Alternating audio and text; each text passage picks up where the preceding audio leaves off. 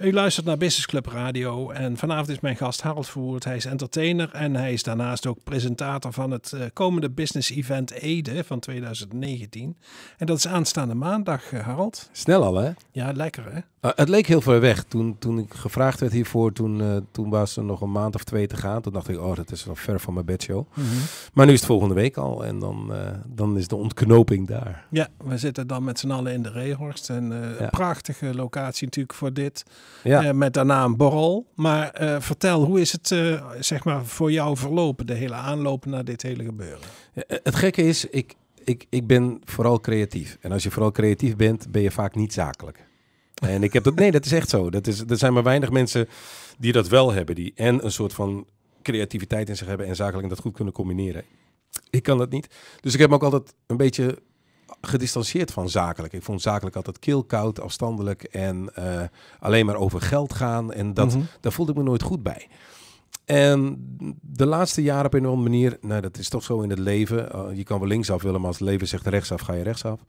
Uh, krijg ik dat steeds meer op mijn schoot geworpen. Ik krijg allemaal dingen die opeens met business te maken hebben. En ik kreeg een telefoontje van, uh, van Lisette uh, de Jong van, van Youngwise. Die zei, joh, ik, ga, ik heb de opdracht gekregen om een business event te doen. En in tegenstelling tot voorgaande jaren willen we dan geen bekende uh, presentator hebben. Hè, want die kosten natuurlijk nogal wat duiten. Dat aan de ene kant. Aan de andere kant hebben ze helemaal niets met de regio waar ze voor staan. Tenzij ze hier vandaan nee. komen. Hij, ze zei ook, mijn bedoeling is dat ik iemand uit de regio uh, daarvoor vraag. Uh, kom een keer kletsen. Dus wij kletsen en ja, het was echt heel leuk. Ik, ik zag gelijk ook de lol ervan. Hè. Mm.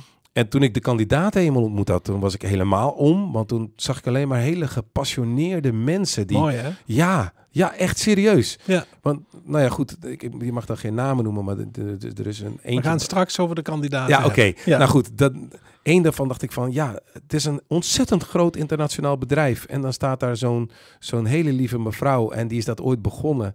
En dan denk ik van, wauw. Ja. Dus ik was alleen maar aan het wauw, wauw, wauw allemaal. Mm -hmm. En ik ben nu echt, ik voel het ook echt als een soort van eer om, om dat te mogen doen. En ik weet zeker dat het een, een prachtige avond wordt. Een, een gala heb ik geroepen, dus ik moet in smoking. Maar uh, nou ja, goed. Het, het, is echt een ontzettend leuk, maar ook heel belangrijk event. Want wij in de regio, en met name hier in de gemeente Ede, wij hebben zulke mooie bedrijven. En uh, daar had ik er wel eens van gehoord, hè, want ik presenteerde Heideweek ook.